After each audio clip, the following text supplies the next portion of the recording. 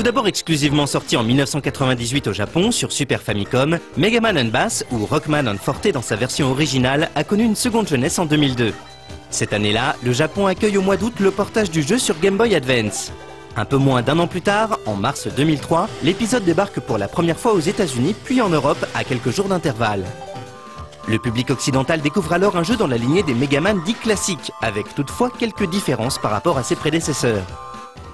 Il est par ailleurs important de souligner que Megaman Bass a finalement été le dernier épisode classique de la série, avant l'arrivée récente de Megaman 9.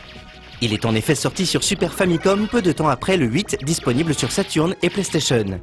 Pour autant, il n'en est pas vraiment la suite, mais plutôt un épisode parallèle au 9.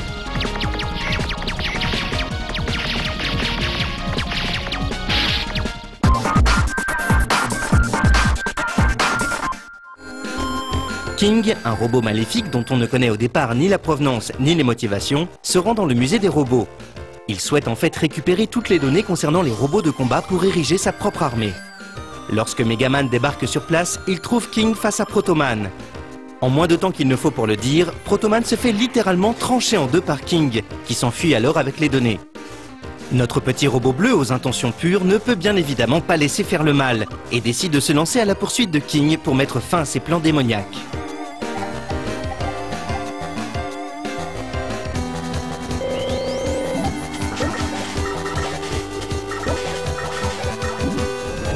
La particularité du jeu, c'est donc, comme son titre l'indique, que l'on peut aussi bien opter pour Megaman que pour Bass.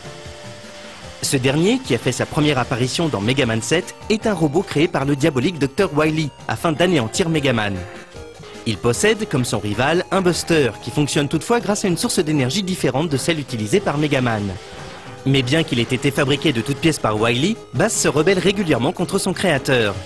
C'est d'ailleurs le cas dans Megaman Bass, s'il poursuit dans cet épisode le même but que Megaman, à savoir détruire King, sa motivation n'a en revanche rien à voir avec celle de notre héros tout de bleu vêtu.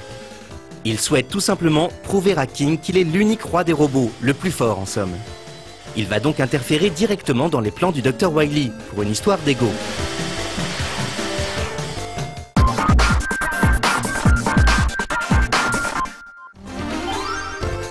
On l'a déjà évoqué auparavant, dans cet épisode, on peut à la fois jouer le héros traditionnel de la série, Megaman, et son rival, Bass. L'intérêt, c'est que les deux personnages ne possèdent pas du tout les mêmes capacités. Commençons par du classique, avec Megaman. Dans cette version, il peut bien évidemment sauter, mais il peut surtout charger son buster et glisser.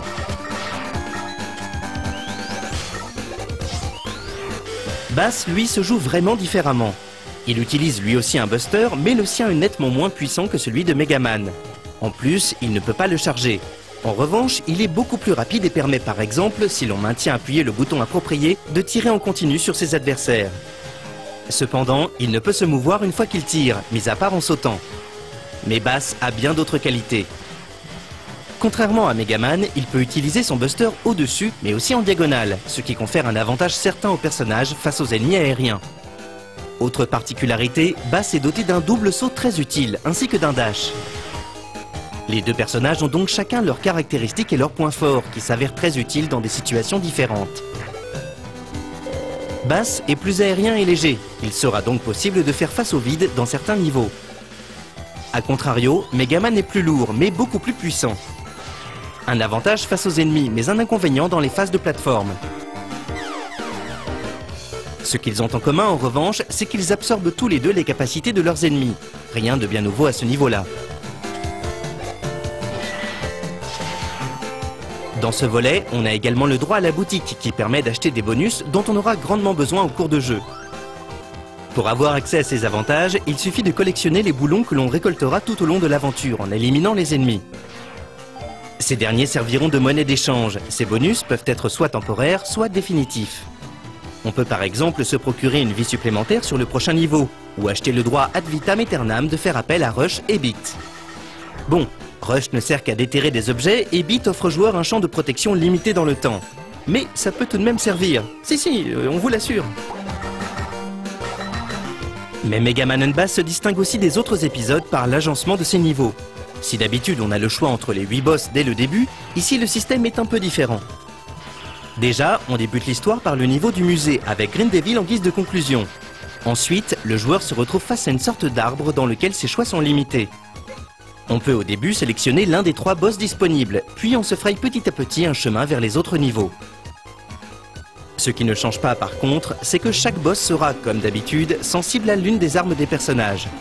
Il faut donc trouver le point faible de chacun si l'on ne veut pas finir le jeu au buster. Parmi les 8 boss que l'on devra affronter, on remarquera également que deux étaient déjà présents dans Mega Man 8, Astroman et Tenguman. Les autres sont bien entendu des adversaires inédits. Enfin, dernier point sympathique du jeu, il est possible de ramasser tout au long de l'aventure des CD de données. Ceux-ci permettent d'avoir accès à 100 fiches de personnages issus de la série. On peut ainsi en savoir plus sur les protagonistes des Megaman dits classiques. Mais attention, collectionner tous les CD sera un vrai défi, tant ils sont parfois difficiles à atteindre. Les développeurs ont d'ailleurs fait en sorte qu'il faille jouer avec les deux personnages pour pouvoir débloquer toutes les fiches. Certains CD ne peuvent être obtenus qu'avec Bass et d'autres qu'avec Megaman. Du coup, chaque CD récolté dans une partie l'est également pour toutes les autres sauvegardes de la cartouche.